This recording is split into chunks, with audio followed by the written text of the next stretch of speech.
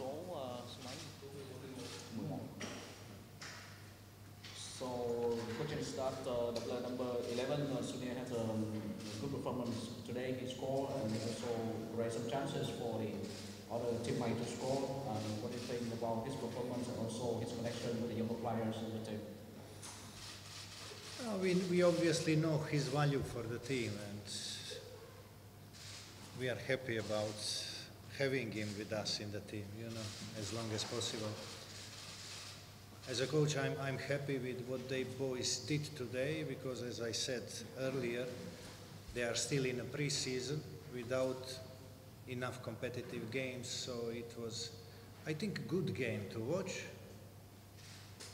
Uh, we had many chances, but some decision making was not good for the final pass, especially in the first half.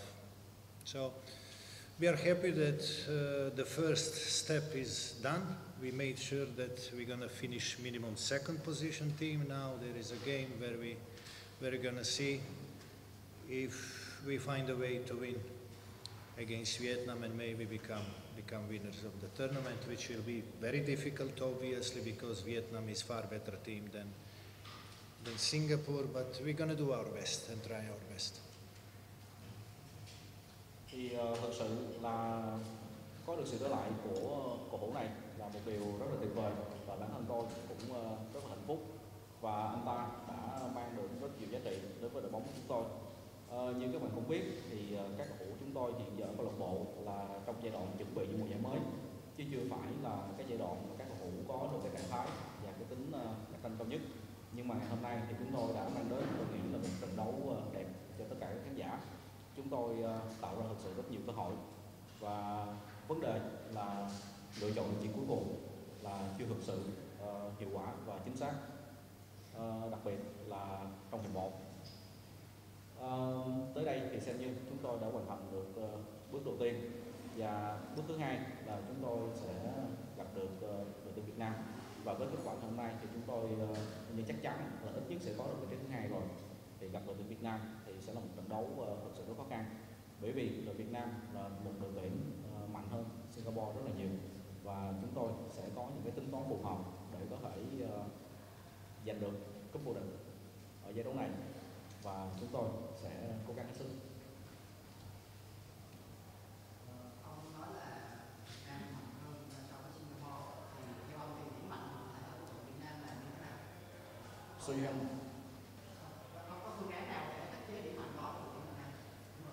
So you have mentioned that Vietnam is far more stronger than uh, Singapore.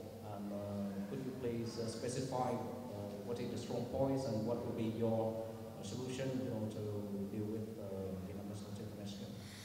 I mean, it was obviously they played the game three days ago, and you could see difference in quality, in uh, quality of passing, in quality of crossing, quality of idea in a football game, and uh, Vietnam has it all clear, you know.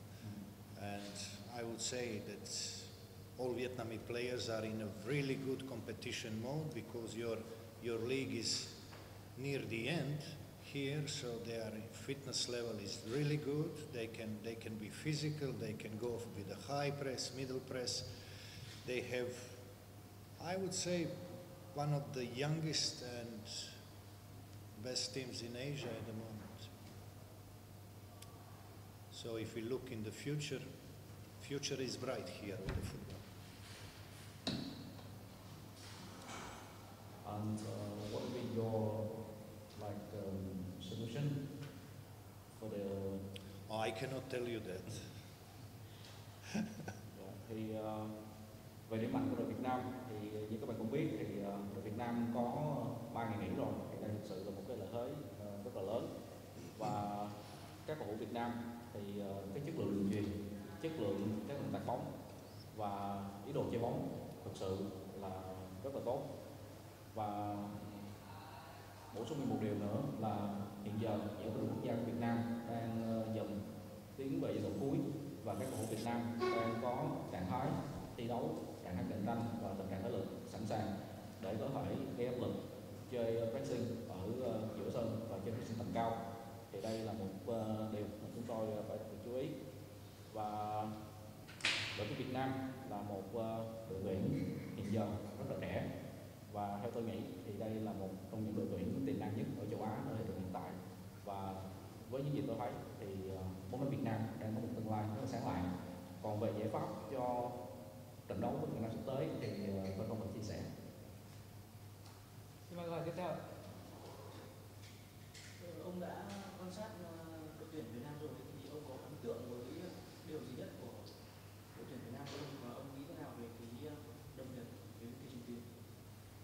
So uh, you have watched and some analyze about the Vietnam national team. So what is most impressive to you about the Vietnamese national team and your thoughts about uh, Vietnamese uh, national team? Excuse me, but you are asking me too many questions about Vietnam. This is press conference about Singapore, India. Sorry. Okay. I already answered about Vietnam. Thì cũng gửi lời xin lỗi tại vì đây là buổi họp báo dành cho trận đấu của giữa đội tuyển Việt Nam, uh, giữa đội tuyển uh, Ấn Độ và đội tuyển Singapore nên là tôi xin phép uh, không trả lời hơn những câu hỏi khác liên quan đến Việt Nam. Ờ, ờ, có bất ngờ không khi mà ờ, đội Singapore cầm lại trận đấu này và cái cách chơi của Singapore thủ trận này so với trận trước? So are you surprised uh, to have a draw against uh, Singapore and the performance of Singapore seems to be different compared to the last game? I mean, it's, it's better. What do you think about this? No, I wouldn't say that we are surprised. Uh, Singapore changed many players for today game. They were looking obviously for fresh legs. And, but we were concentrated on our game, not, not on Singapore, what they're going to do, you know, because as I said, uh, there were a few things in our game which were not satisfying today. We had too many touches on the ball in uh, dangerous positions when we lost possession because of it. And our decision making on the final pass was terrible after having brilliant high press and taking ball in dangerous position in front of Singapore goal. Our final pass was not good or either there was no one there to put the ball in the net. So, uh, but India is one of the youngest teams in Asia. You see all these boys today, they are 20, 21, 22 and obviously they, there is a long way for them to learn from each game. And obviously they will improve after each game. So i'm happy that there is another game of experience behind them which will help them to be better at the asian cups when it comes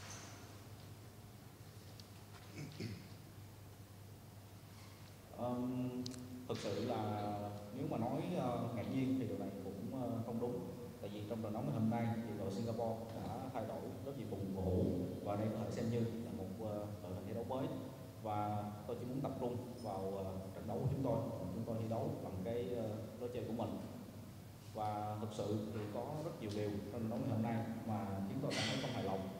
Bởi vì ờ, cái thứ nhất là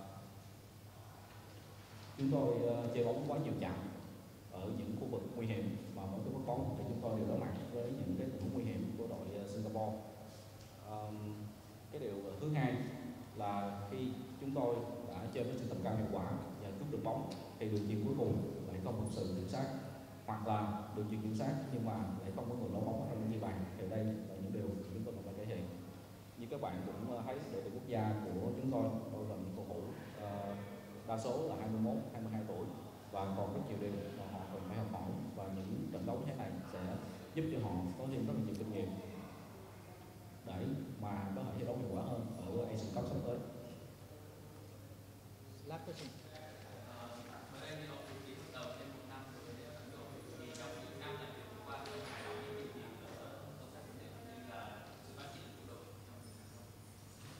So he's uh, he have learned that you have uh, renewed contract with the Indian Football Federation for another one year.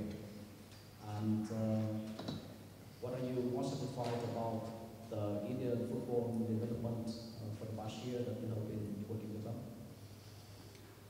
Who three and a half very difficult years are behind us.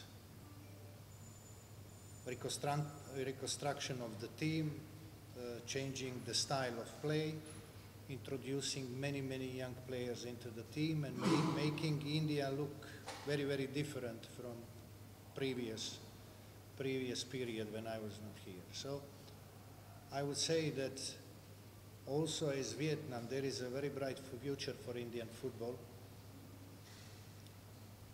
But we need to be patient with these young boys. That's very important, you know. So with the young players, there will be ups and downs in the first one, two years. And we need to go through that, through that period uh, without suffering too much until they get this continuous good performance which will bring level of performance just going up and up and up. So we are very happy with the process we finished in India about selecting new players, making new team and especially with making a large pool of players, which will help the Indian team to be stronger and more competitive in the coming Asian Cup.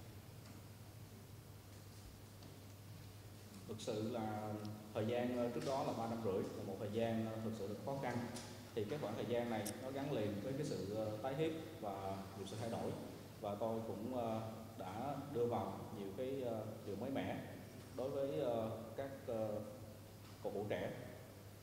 Và cũng giống như Việt Nam thì tôi nghĩ là bóng đá Ấn Độ đang có một cái tương lai rất là tươi sáng. Ờ, nhưng trong bóng đá thì chúng ta cần phải ờ, kiên nhẫn. Như các bạn biết cầu thủ trẻ thì có những lúc thăng trầm họ không có được cái sự ờ, ổn định trong ờ, ngắn hạn. Và chúng tôi cần ít nhất là một hai năm để cho các cầu thủ này thực sự đạt được đến cái sự ổn định.